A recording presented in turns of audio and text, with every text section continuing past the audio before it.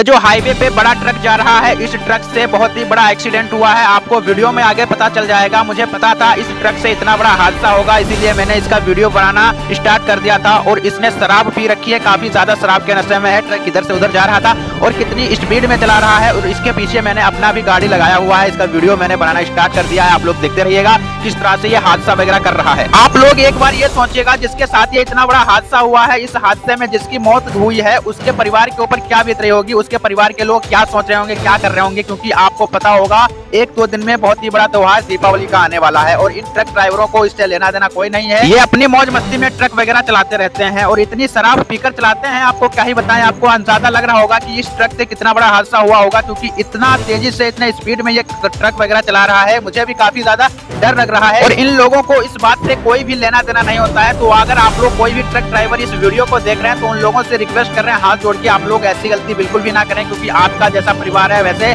और किसी का भी परिवार है आप लोग ऐसी गलती बिल्कुल भी ना करें। आप लोग ट्रक वगैरह चला रहे हैं तो आप लोग सही सलामत से चलाइएगा शराब पीकर बिल्कुल भी ना चलाएँ। और अगर आप लोग भी हमारे चैनल की इसी तरह के एक्सीडेंटल वीडियो देखना चाहते हैं तो चैनल सब्सक्राइब करके ब्लाइकन को आल क्लिक कर लो ताकि जब भी चैनल का कोई नया वीडियो है आपने सबसे पहले पहुँचे आप उस वीडियो को सबसे पहले देख पाए।